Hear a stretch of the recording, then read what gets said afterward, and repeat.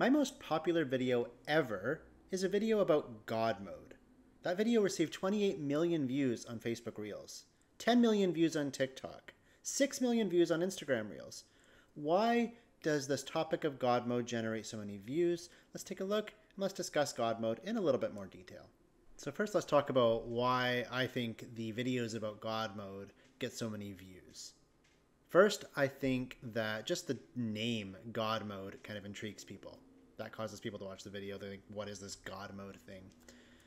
The other thing is that in those videos, I call setting up God mode a hack. And that really triggers some people. Yes, I'm aware I'm not hacking anything. Uh, using the word hack on social media gets you a lot of views. Um, so that kind of triggers people in the comments to go in and say this isn't a computer hack. I know it's not a computer hack, but it sure gets people talking. That generates views that could be part of the reason why those videos do so well. The other reason is that people tend to watch the videos a lot to try to figure out this big long folder name that you need to set up God mode. So to set up God mode, you're going to create a new folder on your desktop. New folder, and you're going to give it a very specific name. I'm pasting it in here. Um, you can't see the full name on my screen because it's kind of truncated, but I will post the full folder name in the description below this video if you want to try this yourself.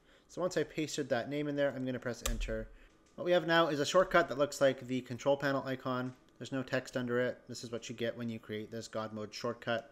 If we double click on it, we can see what God mode is, which is basically a list of all of the settings you can change in Windows. Now, most of these you can access through the regular control panel. I get that comment a lot. Well, you can just access that stuff through the control panel, and you can. This is a different view of it. I don't make the claim that God mode is this super powerful thing, despite the name God mode. It just takes all of these settings in Windows and puts them in one place. And let me just move myself out of the way here so that you can see this better. It's all under headings, which I can expand or collapse, which is kind of cool. Sometimes when you flip through this, you'll find settings you didn't know existed or settings that can change things that you didn't know could be changed. That's kind of cool. Do I use God mode in my everyday life in IT? No, I, I don't. Um, you can find all of this stuff through other ways. You can find it through the control panel. You can find it through start menu searches. I like to show off God mode because it's kind of neat, because some people don't know that it existed. I don't see this as some huge hack.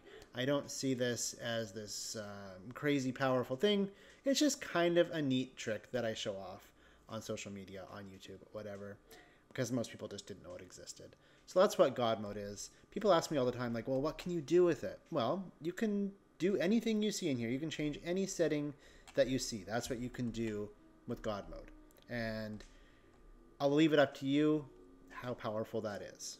If you like this video, I would sure appreciate it if you give it a like and subscribe to my channel if you're not already subscribed.